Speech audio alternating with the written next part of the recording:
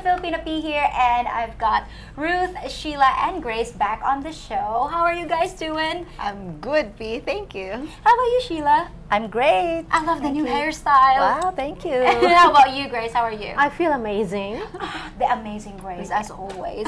anyway, your last video with me was very popular with the viewers out there, so they asked me to invite you ladies back in the show. So here we are. Back. We're back. The, the gang's back.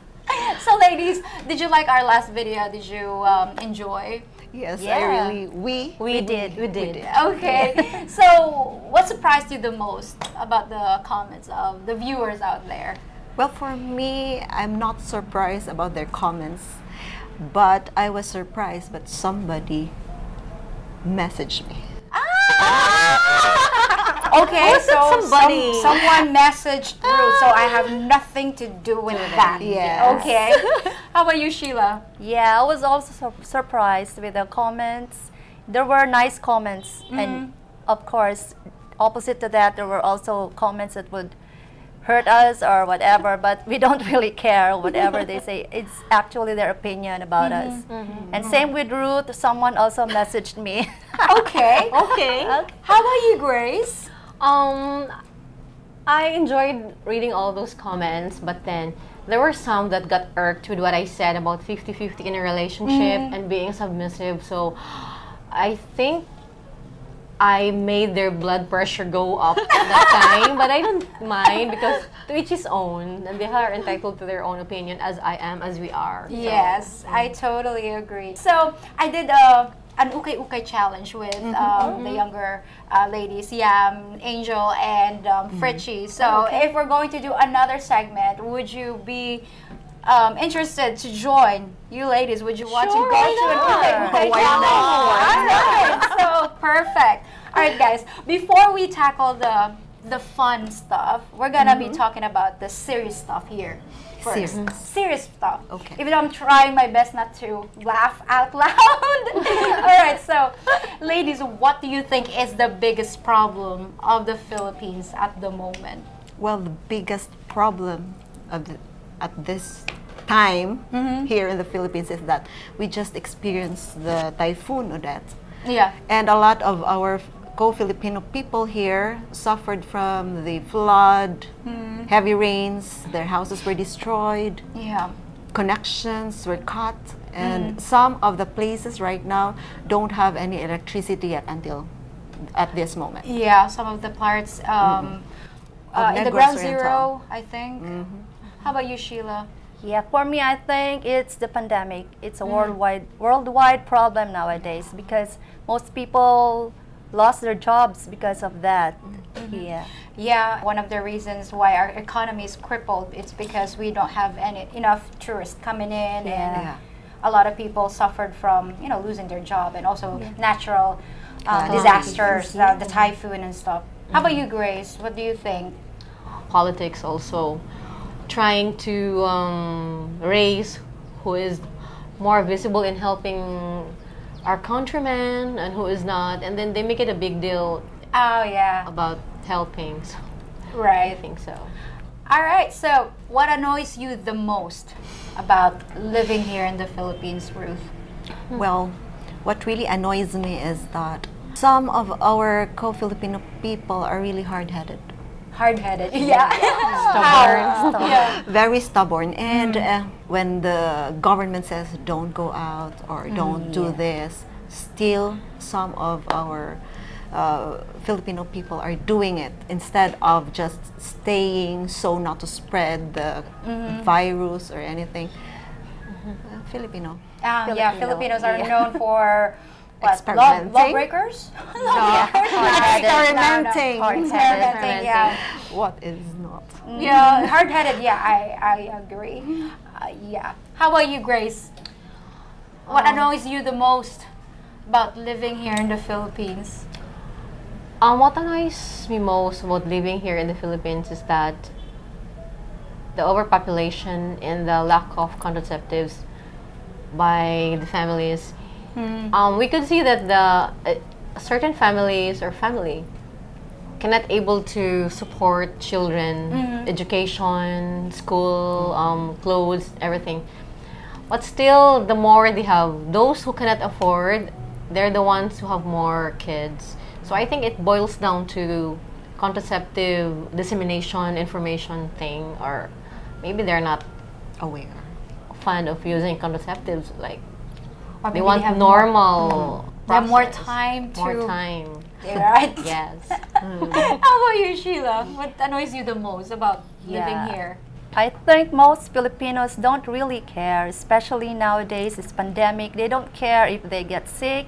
Hmm. Yeah, like Ruthie said, they get sick. They just go out and it, anything they want. more. Yeah, anything they want, they will do it. And with Grace, what she said with the overpopulation, it's like that. They did just they don't care if they have kids. They don't have enough jobs for to support their kids. Right. Do you guys um do you get annoyed when the power goes out? Of Yes. yes. Yeah. Connections, the chat, you know, our friends and our loved ones. Do you call the the power company to report it? No, not really. Me, I do call. Yeah, I We do. don't. I do call. Yeah, because I know that a lot of Westerners here, that's mm-hmm. their main Problem. concern. Mm-hmm. That's their mm-hmm. main um, complaint is like the power goes out all the time, like pretty much every day. Like the other night, there was the power was out, and I was like, "Oh my God, come on! I just wanted to to watch TV, and then I cannot. It's like this is my only time to watch TV." And then it's like, come on! That's the only time I can have my me time, and I, I, oh. I'm done with the editing, and I'm done, you know, answering comments, and I just wanted to watch something in Netflix. And there's like the power's out. Like, okay, Okay. what now? Okay. There's no, there's no wind. There's no nothing. Weather's fine. And then why do you think the power's always going out? Especially here in Negros. This is the yeah. Well, I guess one of the reason why there's always a power interruption nowadays, it's mm-hmm. because they're still fixing the the line of the electric because as what I have heard, mm-hmm. um, when they did not turn off the power, one of the linemen was electrocuted. Oh yeah, the, I, I mm-hmm. heard. That I heard that one. Yeah. One so that's why, yeah, In that's why when they turn it off, meaning to say maybe they're doing their fixing thing, Okay. I guess. Yeah, because this is not only because of the typhoon. Uh, it happens many times before. Even The before power's always typhoon. going out. Yes. There are scheduled power Yes, interruptions, yes. but most of the time, nothing. They just it's just off. It's just a Power power off. trip. without power maybe to- informing us Yeah. earlier or ahead of time so that we can be ready. You know. Yeah, even with the internet. Um, internet Yes. connection sometimes um, it just disappears, Yes. and um, although we're paying the right amount, they're not going to deduct it from Yes. our from our No. bill. Let's say there was no internet connection for three hours, 15, 15 days for me. 15, 15 days days? during after the Odette. Mm-hmm. There was a uh, I have no internet connection for 15 days. Did you pay the whole The bill? Of amount. course, still I paid the same amount. Did you complain? no. No, why not? Uh, It's tiring. Sorry. tiring when It's you, you, you, you have to complain and It's a then long process. there's no Yeah. action. Right. All right. So, ladies, let's talk about age discrimination here in the Philippines. Do you think older women can get jobs in the Philippines, like at the mall? Do you think it's harder for them to get a job? How about you, Grace? Um, working in a hospital setting, we accept, we still accept Yeah. older individuals as long as they are capable of working and then the mm-hmm. skills and the knowledge are still there. Mm-hmm. So as long as they are still productive, then we accept them. How about at the malls? At the malls, I don't know, but I haven't seen older women working at the malls. Mm-hmm. Even janitorial Yeah. jobs, I can't see anyone. Do you think it's harder for an older? I think it's harder for older women Mhm. at the malls. right. How about you, Ruth? Well, I guess same with Grace. It's harder for older women to work in the malls. I never seen yeah. I observe. None. I never I never seen like older women working in the malls. Yeah, even in the you know in Yes. the fast food Yes. Yes. industry, Yeah. there's very little older women there. Um, what do you think um, when you see a sign, you know, a wanted sign, like um, hiring Yeah. 18 to 24 years old women only with pleasing personality. Personality. Yeah. What do you think of it, Ruth? Oh well, I guess well it's their Is their preference? yeah it's their preference. We cannot do something about it. But if you say that uh, there's a discrimination, uh, well yes. There is because why do you have to put the age when some of the older women can still work what the younger women do? If just say serving in a restaurant, well, the, the, the people who's older can still serve the people uh, for, like, like in the restaurant. Why not? What do you think when you see something like that, Grace? Do you think it's very do you think it's unfair? I think it's unfair because what will happen to those 18 to 24 years old when they grow older while working in that certain establishment? So will they be fired or hey, um, you have reached your age, 45, so it's now about time we look for another 18 to 20, 18 to 24 years old. So what's that? most of the people in the fast food or the malls they're younger and then Yes. it's very rare to see older, Older women there unless yes. they've been there for x amount For- of yes, years yes. and sometimes there's a problem with the uh, um, becoming a regular in your job because some of the companies here are avoiding Yeah. there are some not all Regularization. the regularization because they have to pay um, certain benefits Yes. and um, this was when I was in college. Um, I'm only allowed to work in the fast food for six months, and I, I cannot renew, my contract because after six months You they have, have to be regular. To regularize. They That's have to. the- I have to be yes. uh, regular, and they have to pay for the benefits. And some Yes. companies are avoiding, Avoiding, that. Yes. Yeah. So that's That's, That's why very- it's six months contractual. Mhm, Yeah, the contractual uh, contractual um, jobs here, but I think the government is trying to abolish that. They're making sure that. I hope. I, hope, so. I hope so, but I don't think. so. Ladies, the Philippines is obviously a very religious country, and why do you think there are a lot of people engaging in premarital sex and a lot of younger? Um, younger single mothers out there. What do you think is the main cause? How about you, Ruth? Well, maybe the main cause is that maybe they lack information. Because as you can see, we Filipino don't talk about it freely. yeah. Hmm? We don't talk about it freely, and it feels like when you talk about it, it's like a taboo. Mhm. It's a Yeah. taboo Yeah, when you started to open up, like there's a feeling of uneasiness between the like family members, like when you're talking about it, as if you cannot just talk about it freely.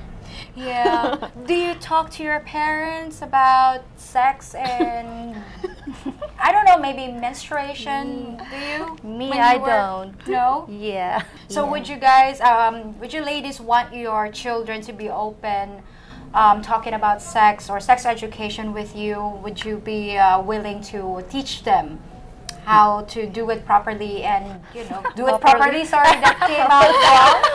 Came I from mean, somewhere. There's a proper way. Yeah, like I mean, how to be responsible. That's Yes. Yeah. But I think it's taught at school. It's- Sex education is already taught at school. Higher. Yeah. uh, But just level. it's just in the family. It's very. Un- I know it's un- it's very Uncomfortable. uncomfortable to talk about because even I myself, when I had my first period, I was so scared. I was running around the house because I didn't know what's going What on because do. my mother never Talk told about me it. about the you know what will menstruation. Yeah, what would happen. And I was like crazy. It was like, oh my god! I thought I You were bleeding. I was bleeding, so I thought I was. I cut myself down there. So I was like, and at that time I was playing outside. I was mm-hmm. climbing up trees, and I was thinking like, oh my god, what did I do? What is this messy thing ah. It's here like, oh my god, on? I'm so, I, mean, this? I was thinking like I might be dying because I'm bleeding now that I didn't know. Then there are a lot of superstitions about that. So what's the gist? Why do you think there are a lot of young single moms here in the Philippines? Oh, I think many single mothers because most women or those we engage into that act, hmm. we trusted our the partner or the boyfriend or the lover that this person will support you eventually, as hmm. promised. That, Don't worry, I will answer, I will shoulder, I will take responsibility whatever will happen. Mm. Those false promises and false hopes were there handed over. Yeah. Yeah. So I think then after that, when the pregnancy is there and then you gave birth, then the men realize that they're not ready to commit, they're not ready to marry. Then, then they're thinking, oh, if I'm going to marry this woman, I cannot find another, you know, prospects. So mm. the world, the sea is large, and then I can find many. So I think that's it. So and then most women here also do not run after the men. So mm-hmm. they we don't. us it is. So we try ourselves to raise our kids on our own. As you can see, there are many of us raising our kids. Mm-hmm. Yeah, and We they're getting younger and younger. Yeah. though. Younger and That's- younger, Yeah, that's yes. the problem. As as i- in our hospital, as young as thirteen. Yeah. Yes, thirteen. 13. Oh my 13. god. When I was 13, I Running haven't around, yeah, have the like- clue what playing around. what SEX is all about. Yeah, no? yeah. And then have yeah. I think it's the influence of the media also. Media. Social yeah, the social media. Social media, and then- Yes. And then the one click you can see the the forbidden sites, and then the parents Yeah. are not there to check on what's Parental going on, what are you looking at. Right. so- Because uh, yeah, talking about sex about you know with my mom, I'm open about it, but my mom's not. It's Yeah. like, Maybe. Their generation do not Yeah. allow yeah, yeah. talk. For her, it's Ah. like, why are you talking about that? Like, no, it's it's like the big elephant in the room. You know, it's just yes, yes, yes. just not talk about To it. them, it's scary. Yeah, it is scary. Although themselves, I mean, they themselves, they're not really educated in that department as well. I think Yeah. because it- why. Because their parents also. yeah, didn't talk about Yes. it. Uh, it's a ripple effect. It's a domino effect. Yeah. So, ladies, if you're if you're giving advice to guys out there, where do you think they should go to meet a good Filipina? Negros. Negros. Negros. Dumaguete. Negros Oriental. Dumaguete. where about in Negros? I mean, do you do you advise them to go to the church or to a restaurant or I to- think restaurants Restaurant. are like beach, beach by the sea, boulevard, coffee shop, coffee shops, The restaurants restaurants. I think coffee shops, but not the bars. not the bars. No, not the bars. Yeah. Why not the bars? because um, They cost more money. cost more money, and then mostly who stays at the bar are the younger girls. But if they want the younger girls, they go. there. Go for it. Yes. Right. Mm-mm. But then it's expensive to spend money for younger girls. Oh, Yeah. still the older ones is also expensive, Yeah. Grace. yeah, expensive also, but then at least we're mature enough. Do you uh, do the flirting first or do you wait? I don't do the flirting first. Okay. Still, there's a part of me, the Filipino culture that we don't. Yeah, we Yeah. are a little bit reserved. Yes. I don't do the first move. Yeah, me you too. don't. You don't. You Yeah. don't do the flirting 1st I'll just wait. you just wait and then you reciprocate. I, I, I don't know. Depends. Depends. How about you, Grace? Um, Do you do the flirting first? Or you waiting? and um, um, I'm too tempted to initiate. what's stopping Like, you? I'm at the brink of initiating, but then we still have our reservations. Yes, Ah, as yeah, dalagang Filipinas. Pilipina. Yes, Yes. Dalagang Filipina.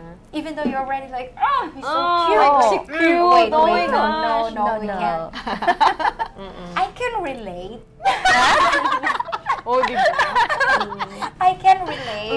not trying to like, mm, Mm. Sure naman dyan. Sure, sure lang dyan. Joke. No, no, it's very, we have a saying here. Yeah. Dalagang Pilipina. You have to be reserved. Even, a lot of you guys were asking, why do Filipinos cover their mouths when, When when we laugh or smile? It's because we're trying to, uh, I don't The know. shyness. The shyness. The we're trying shyness to. Part enough. And before, you know, the older, like the fan or The fan, yeah, yeah. we have to cover our smile because you're not proper if you're like, ha ha. if ah, you're ha." laughing yeah. boisterously. Yeah, which sometimes we do. Oh, oh, wait, no, no. Under the influence of alcohol, we do. Yeah, I agree. Mm. Guilty as charged. Guilty as charged. Yeah. And now, to the topic of sex. And folks, don't worry, I'm not ambushing my guests. I already asked them if we can talk about this topic and they all agreed. And ladies, you don't have to answer if you don't want to. Okay. A lot of my viewers out there want to know uh, they want to know the uh, attitude of mature women about this topic. So here we are, guys. Do you think Filipinas are adventurous in the bedroom or just vanilla? Adventurous. Adventurous! Yeah. Adventurous. Adventurous. Ah, adventurous. All right. So, ladies, does size matter at all? But don't answer that question until part two of this video. And, folks, you know the drill. Join us again next time for the riveting conclusion. That's it for now. Bye.